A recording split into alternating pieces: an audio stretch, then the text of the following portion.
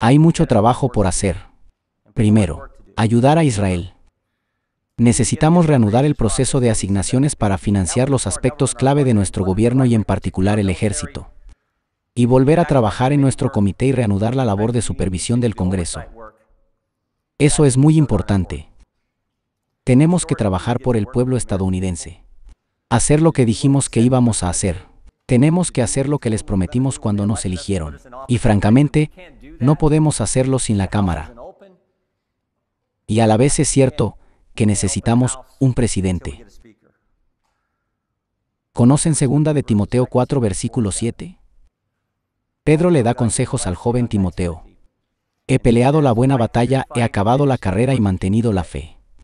Me encanta ese versículo, porque nos exhorta a actuar. Por su mensaje, los estadounidenses no son tímidos sino valientes. Y las palabras pelear, terminar y mantener coinciden con el espíritu estadounidense. El pueblo quiere que su gobierno luche por ellos. Quiere que terminemos nuestro trabajo. Y quieren que seamos fieles a los principios y los valores que nos convirtieron en la nación más grande de la historia.